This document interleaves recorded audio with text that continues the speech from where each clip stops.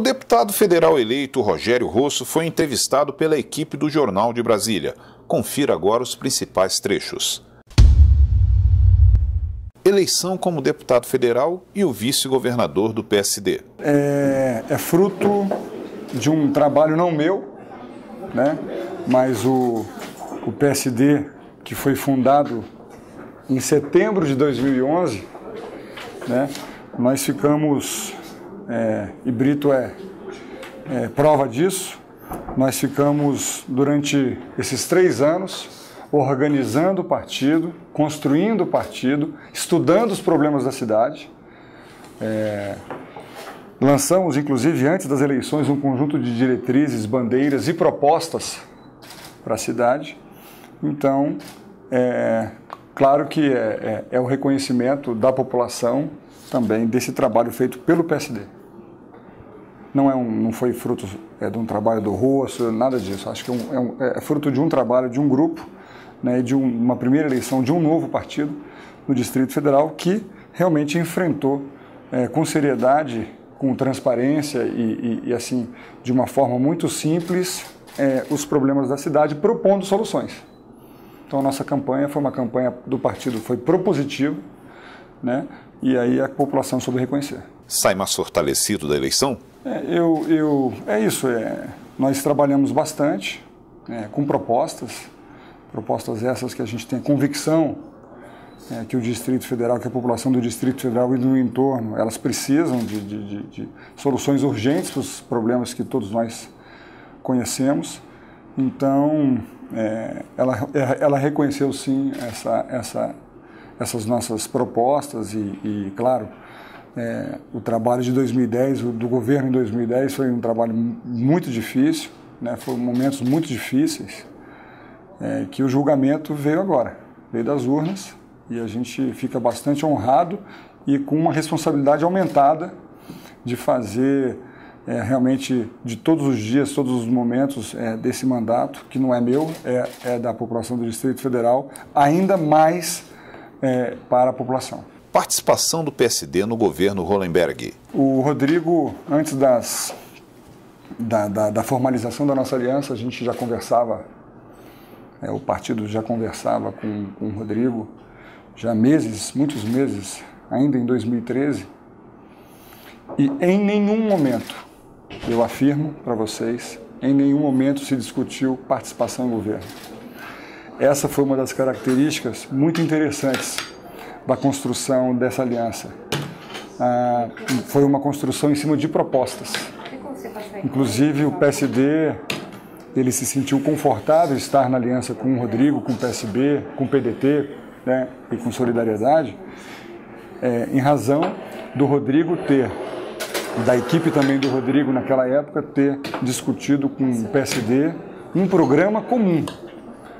Então, é, não conversamos sobre a participação do PSD, nenhum dos quatro partidos originais, né? Obrigado é, nós conversamos sobre participação em áreas, etc., porque nós entendemos que o governo precisa funcionar como um todo.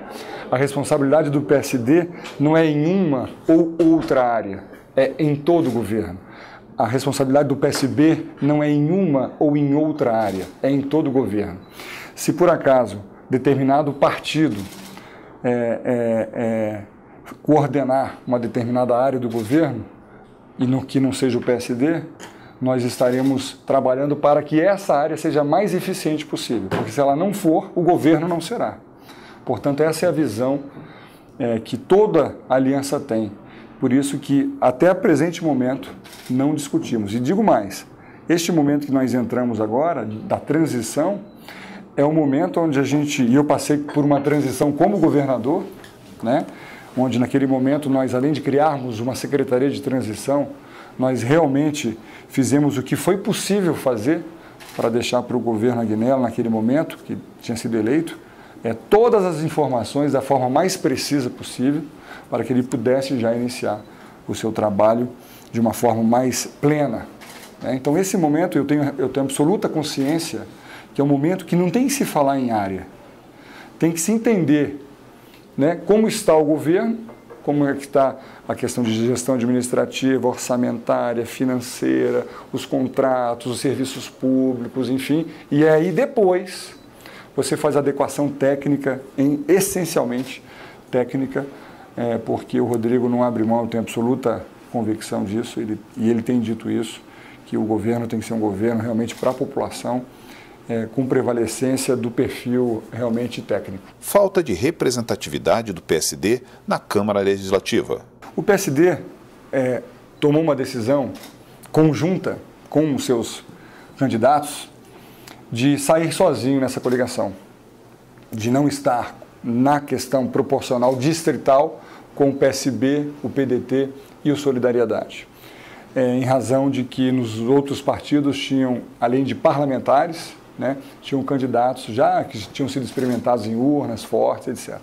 Então, foi uma decisão do partido sair sozinho, sabendo que o nosso desafio era o coeficiente eleitoral, por ser um partido e, e, e o perfil dos candidatos, 99% dos candidatos do PSD eram candidatos de no máximo uma é, é, é, eleição, a maioria que novatos né, na, em eleições, com perfis muito distintos, muitos técnicos também, como foi mais o Jorge, que é um rapaz é, é, é, vinculado à área de saúde, como enfermeiro da SAMU, etc.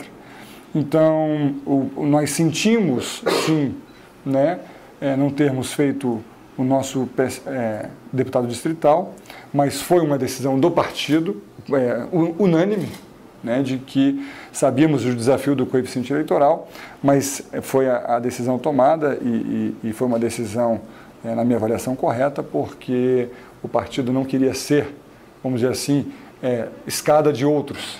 Né, então ele queria sim, é, no risco, claro, mas ele queria traçar o seu rumo independente, nessa questão da proporcional distrital. Sentimos realmente muito, mas os quadros os candidatos, os, os nossos candidatos do PSD, são quadros valiosíssimos do ponto de vista técnico, de conhecimento e experiência, e com certeza vão poder ajudar o partido né, é nessa, nessa, nesse novo momento que o partido entra aqui no Distrito Federal, que é a nossa primeira eleição no Distrito Federal. Propostas para o entorno. Excelente, excelente, Brito. É, primeiro, existe a consciência do Rodrigo. É muito importante isso, porque não é uma novidade para o Rodrigo, especificamente para o governador Rodrigo Honenberg, a questão do entorno. Ele sabe que se não for enfrentada de uma forma muito responsável, muito direta, muito urgente, prioritária, né? essa configuração metropolitana do Distrito Federal barra entorno, ela tende a ficar cada vez mais difícil. Porque na medida que o Distrito Federal tem um crescimento populacional né, é, é, equilibrado nos últimos anos, nós percebemos que em algumas cidades do entorno elas, elas têm sido três, quatro a cinco vezes maior do que a razão de crescimento do Distrito Federal. O que isso significa? Significa que o Distrito Federal não tem nenhuma, é, é, é, vamos dizer assim, jurisdição sobre a ocupação do território, sobre o licenciamento, sobre a área ambiental, sobre o ordenamento territorial da região do entorno, né? porém, essas cidades nós sabemos que elas vivem socialmente, social e economicamente absolutamente em razão do Distrito Federal. Na questão do serviço público, como na questão do emprego, quanto na questão de outros serviços. Portanto, esse é um assunto que você coloca, Brito. Então, como, como fazer? Primeiro, chamar a atenção do Congresso Nacional para essa questão. Segundo, é, enfrentar esse tema também no Distrito Federal. O Rodrigo está disposto a fazê-lo com esse, com, tomando, como ele próprio diz, tomando é, é, frente, estando à frente deste dessa condução tripartite, né, Goiás, DF e governo federal, dessa condução tripartite. Então, é dando suporte a ele, é, Preto, no que for possível, né, para que ele possa realmente exercer o comando é, político dessa região, no, no, no de ser o, o, o, vamos dizer assim, a, a, ligação entre o governo federal, o Estado de Goiás e o Distrito Federal para o desenvolvimento dessa região. Entendo, entendo que por ser uma região limítrofe à capital de todos os brasileiros, e entendo também que Juscelino, quando criou Brasília, na lei que ele remeteu, já falei isso para você sobre isso, na lei que ele remeteu ao Congresso Nacional criando Brasília, o artigo 28 já previa o entorno. Num raio de 30 quilômetros extra quadrilátero, só poderá ser averbado em cartório terras e glebas, desde que precedidas da infraestrutura devida. Ou seja, já se previa que existiria um aglomerado urbano em 57. Então, isso significa dar respaldo legal, jurídico, político e institucional a, esse, a essa é, é, coordenação política da região, o Distrito Federal. Medidas do GDF para o entorno. Ah, eu acho que é fortalecimento de uma estrutura é, regional. A, a, a, criação e o fortalecimento de uma estrutura regional.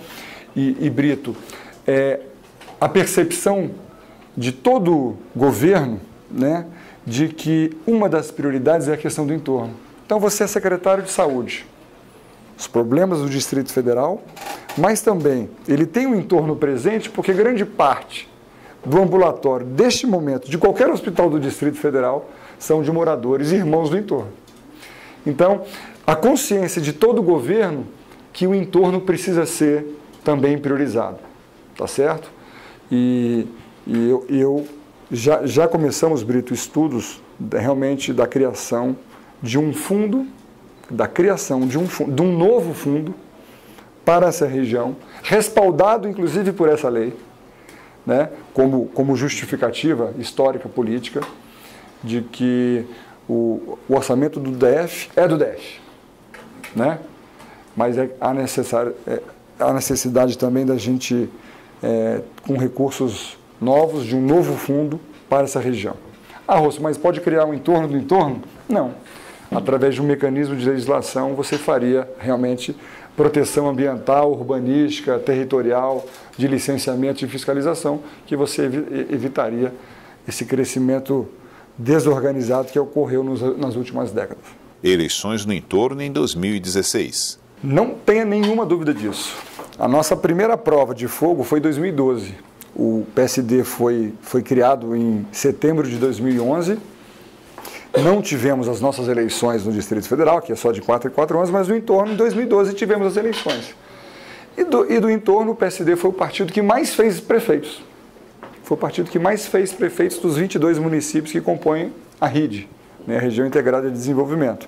Só que prefeituras importantes, que se fosse colocar na população, representando quase 40% da população desses 22 municípios. Formosa, Lusiana, Cristalina e Vila Boa. Então o PSD já se fez presente, já se faz presente com quatro prefeitos no entorno e você tem toda a razão. O, a eleição é, da, das administrações municipais, vamos dizer assim, adjacentes ao Distrito Federal, é muito importante que elas percebam e entendam que quanto melhor tiver o DF, melhor para eles. E quanto melhor eles estiverem, melhor para o DF. Então, é, é, é, é sim, é verdade que o PSD, com essa, com essa nossa é, linha também estratégica de metropolinização do Distrito Federal e enfrentamento da questão do, da, dos desafios regionais, que a gente também tem uma presença é, é, é forte nessa região. PP Cube e Luoz. É, eu, eu acho assim, é, é, uma questão, claro, de absoluta atribuição do poder executivo e, e, e sob a tutela e aprovação do nosso poder legislativo local mas eu acho também, eu acho que é, uma, é, uma, é, um, é um caminho que pode ser tomado de, de envolver também a, as bancadas federais nessa questão, porque afinal de contas a gente está na capital de todos os brasileiros. Né? Afinal de contas nós estamos uma unidade especial, Brito. Eu, eu, eu digo sempre isso. O, o, Distrito Federal é município e Estado. O Distrito Federal tem, tem, tem atribuições ela, é, complexas. Né? Então, essas atribuições também elas em, em, em, algumas áreas elas podem e devem ter também a, a, o respaldo da questão federal. Participação do PSD na equipe de transição. É, o coordena, existe um coordenador técnico da transição, que é o Hélio, e existe um conselho político. Né, vai existir um conselho político dos partidos, né, não só os, os originais, vamos dizer assim, mas é, é, hoje manifestaram apoio. Manifestaram apoio e eu, eu, eu, repito o que eu digo hoje, que eu disse hoje no, no correio. Eu, repito, Brito. É, a gente tem que olhar para frente. Brasília tem problemas, está enfrentando questões gravíssimas né, de saúde, de, de, de, questão de infraestrutura, questão de segurança, questão de, de enfim, várias outras questões, em razão é, realmente de, de, de, tem que acabar com essa história de que é, o, o, governo ele não pode receber apoiamentos outros que não vieram da original. Não, pelo contrário. Acho que quem quiser contribuir e poder contribuir e, e, e, e com contribuições realmente propositivas é tudo válido. Né? Então o PSD participa da transição tanto no aspecto técnico, né, quanto no aspecto, obviamente, político mas a minha percepção agora é que a concentração e a priorização tem que ser no aspecto técnico, porque é um conjunto gigantesco de informações que você precisa ter, é, orçamentário financeira, de planejamento, programas, ações e tal. É, é, gigante, é muita coisa, muita coisa, porque é em cima dessa análise técnica, né, junto com o seu programa de governo, que você começa a compatibilizar uma série de ações para que você possa começar o primeiro de janeiro já mais preparado, mais, mais como, eu, como eu falo, com um governo mais pleno, né, com o pé no acelerador. Então, é, o PSD vai participar do, tanto do, da parte política como da parte técnica também. Mas sem nenhuma, sem nenhuma discussão de área. Não pode haver isso agora, não pode haver. Como é que você vai discutir área se você não sabe o, a radiografia de uma determinada área? Né? Puxa, essa, essa determinada área precisa desse perfil de pessoal, com esse tipo de experiência, qualificação, com esse, com esse tipo de, de, de, de é, é, é, currículo, etc. Então, o momento agora, é, na minha avaliação, é realmente é, concentrar na questão técnica, obviamente a questão política caminhando junto, né, para dar o respaldo político, isso é fundamental, mas priorizando agora a, a, transição na questão de coleta de informações e processamento dessas informações para um governo que se inicia. Participação de Rogério Rosso no Conselho de Transição. Vou participar pessoalmente, faço questão de participar pessoalmente. É, e assim que nós recebermos a, a, o comando da transição, da, que os partidos, né, todos vamos indicar os nomes técnicos né, para participar a gente fará o mais rápido possível.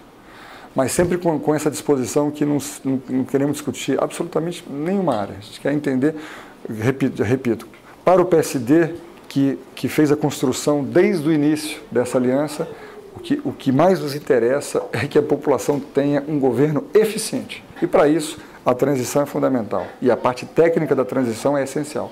Diferença da transição em 2010 para agora? Primeiro, com eu não gosto de julgar nada ou pré-julgar ninguém. Da mesma forma que é, eu fui duramente criticado por alguns segmentos da sociedade de deixar, inclusive, um caixa negativo para o governo que estava entrando, quando o Tribunal de Contas analisou as nossas contas, percebeu que o caixa era positivo e muito. Então eu não posso cometer é, nenhum tipo de julgamento sem conhecer Paulo, previamente a situação. Naquele momento, para esse, é que aquele momento, o próprio orçamento de 2010, eu entrei no dia 19 de abril, já era um orçamento vigente. Né? Já era um orçamento, é, eu, não, eu não criei nenhuma nova despesa, eu não criei nenhum novo programa de trabalho. O que a gente fez foi a priorização da manutenção dos serviços, tirar Brasília da intervenção e retomar obras, o que, o que era possível retomar dentro daqueles limites de, de orçamentários que existiam na época. Né? Mas esse governo não, esse governo teve os quatro anos.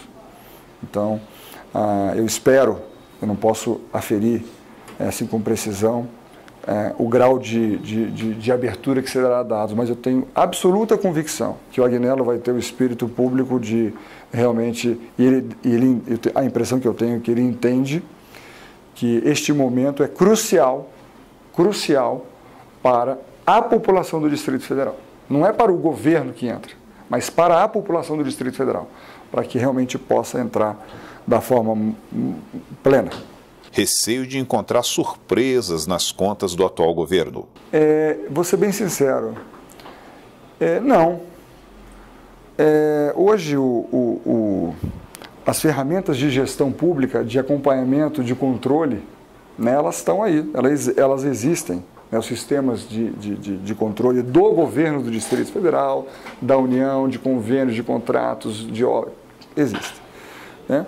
É claro que não sabemos, não sabemos o que podemos encontrar pela frente, mas é, precisamos realmente, mais uma vez, ter a, a, a, a consciência, a tranquilidade né, e a responsabilidade de analisar com responsabilidade os dados e não simplesmente né, politizar um momento de transição para lá na frente falar que foi o herói da, da recuperação, da reestruturação. Transparência atual do governo. Transição é um momento onde é, é, ela não é só a questão da solicitação da, das informações, e sim da disponibilização delas. Esse momento é crucial, aonde a gente vou poder te responder com, com, com eficácia daqui a um, algumas semanas. Né? Mas eu, eu tenho assim para mim que não tenho nenhuma dúvida que o, o governo Agnello vai disponibilizar o que for necessário. E assim essa é a nossa a minha inclusive a minha torcida né que, que ele vai disponibilizar as informações necessárias para uma tranquila transição, responsável transição, olhar para frente, né, não ficar botando culpa, porque perder tempo falando mal das pessoas, botando culpa nos outros, na minha opinião, ela, ele, ele, ele só piora a situação porque você, em vez de usar o seu tempo para trabalhar, para resolver os problemas, você fica com, com tempo para ficar gerando intriga e eu acho que, eu tenho certeza que não é linha do Rodrigo, nem nossa. Como o atual governador Agnello vai deixar o GDF? Eu espero que ao longo dessa transição ele possa fornecer as informações realmente que no grau comparativo com, com exercícios anteriores e governos anteriores, quem que, que bom que, que saúde, educação, segurança, transportes, é, é, servidor público, valorização do servidor público, planos de carreira, é, enfim, que bom que os índices sejam todos melhores. Vamos saber agora. Participação do PSD no governo Dilma. O Kassab é reconhecidamente, como além do excelente gestor, reconhecidamente como um homem de palavra. Ele, ele fez um, um compromisso com a presidenta Dilma, né, ano passado, é, inclusive ela foi é, numa, numa reunião, é, né, é, vocês noticiaram isso, uma reunião esse ano onde foi selado, né, foi definida nas, no plano nacional o apoio à presidenta Dilma. Ao longo do processo de, de construção das alianças nacionais, o PSD foi procurado por outros candidatos, em especial do senador Aécio. E o Kassab, ele foi firme no seu compromisso com a presidenta e manteve o PSD né, com, nacionalmente com apoio à presidente Dilma. Portanto, é, dada a característica que nós é, percebemos da presidente, não tenho nenhuma dúvida que ela saberá obviamente, entender é, é, esse, esse momento e compete a ela, claro. Mas eu, respondendo a sua pergunta, eu acredito que sim, que vai ter uma outra, outra é, é participação. Eleições diretas para administrador regional. Eu avalio, é, antes de falar em eleição, o PSD, é, aqui no Distrito Federal, nós estudamos muito a questão da autonomia financeira das cidades. É, eu tive uma experiência como administrador de Ceilândia, é, no ano de 2004 e 2005, no governo Roriz, e eu me recordo que naquela época, até para fazer uma calçada, eu tinha que oficiar a Nova Cap ou a Secretaria de Obras. Eu me lembro que para construir um, a, como nós construímos a ala materno-infantil do HRC, do Hospital Regional de Ceilândia, nós tivemos, junto com a Secretaria de Saúde, com a Secretaria de Obras, praticamente fazer um, um acompanhamento diário para que a obra saísse. É, portanto, me parece muito, muito salutar né, para, para assim, de agora para diante, que a população escolha os seus administradores. Muito salutar. E o PSD entende também ser salutar que aquele administrador que será escolhido pela população tenha uma relativa autonomia financeira. Portanto, o IPTU pago, por exemplo, por uma família em Santa Maria, hoje não fica em Santa Maria. Hoje o caixa é único. Não existe Secretaria Municipal de Finanças de Santa Maria. Existe a Secretaria de Fazenda do GDF. Então o PSD ele, ele enfrentou esse tema e nós entendemos assim que é fundamental que a, uma parcela do, dos impostos recolhidos nas RAs fiquem nas RAs, para que o administrador possa né, ter a sua autonomia de realizar obras e projetos, etc. Isso, junto com a eleição direta, é muito possível. Eu acho que, na verdade, é muito necessário né, para que, eventualmente, é, uma, o IPT que seja arrecadado lá no Itapuã não esteja servindo, não estou dizendo que está, mas um exemplo para fazer uma recuperação asfáltica, por exemplo, no setor de, de embaixada, por exemplo, que é importante também, mas assim, é, é, tem que ser, é, tem que ficar parte desses recursos lá. Tem que fazer na embaixada, mas tem que fazer no Itapuã. Né? O asfalto tem que ser igual. Né? Então, é, mas essas regras que são os grandes desafios. O grande desafio da eleição direta, eu me lembro que quando eu era administrador de Ceilândia, tinha, tinha uma Câmara de Vereadores, é, vamos dizer assim, entre aspas, no PSUL. Existia a Câmara de Vereadores do PSUL, que é um bairro de Ceilândia, né, um grande bairro de Ceilândia, né, é, com prefeitura do PSUL, tinha sede, voluntária, então era uma eleição voluntária onde o morador do PSU ia num domingo votar e ia votar. Incrível. Você lembra disso, Brito? É incrível, né? E funcionava. Prefeituras de Mas funcionava. Assim, uma, uma, uma, uma, acho que hoje não, não tem mais, enfim. É, tem até um Museu da Memória de Ceilândia, lá em Ceilândia tem bem essa história. É, acho, acho que a definição das regras é o desafio. É o desafio. Né? É, e acho que não gera na base, não, porque sendo uma eleição da população, né, vai, obviamente, vai, vai vencer quem a população mais confia. Porém, são essas regras, e o Rodrigo deixou muito claro. Né? Até que haja realmente a eleição plena, vai ter um momento de transi transitoriedade de, de levantar as regras. Mas se as regras forem muito claras, muito transparentes, né? como se dará a eleição, como se dará a gestão, se a população não estiver satisfeita, como se dará a saída do administrador eleito pela população, não vejo nenhum problema. Pelo, pelo contrário, eu vejo isso como um avanço. Vai assumir alguma secretaria no governo Hollenberg? Fui eleito pela população para ser deputado federal. Não há e tenho, e, e, e tenho já há alguns anos muitos projetos que eu preciso, é, é, até que a gente tem estudado muito, que eu gostaria de apresentar para procurar fazer a minha parte. Prioridade? Tem vários, né? Mas assim, tem vários. Eu acho que a questão da desoneração é, em detrimento da competitividade do setor produtivo, para mim é muito importante. Não é só a reforma tributária em si que é importante, mas a, de, a desoneração né, é, na, em, em, todo o processo é, é do setor produtivo no Brasil. Então, quero enfrentar isso. Tem várias, várias, várias áreas sobre isso, várias, não projetos já definidos, mas estudos sobre isso. A questão do entorno, a questão dessa, dessa pelo menos parte da jurisdição, né? Quando, quando um prefeito resolve autorizar a construção de 10, 10 mil casas no limite do DF, numa área de nascente ou numa área ecologicamente importante, quem é afetado? Mas o PDL dele não é o nosso PDL, não é, não, não é convergente. Né? Então, é, em, em, em, em, agora São Paulo e Rio com água. Pronto. Então, assim, isso tem que ser de, de, enfrentado lá no Congresso. Né? A criação desse fundo metropolitano regional para a RID, tá certo?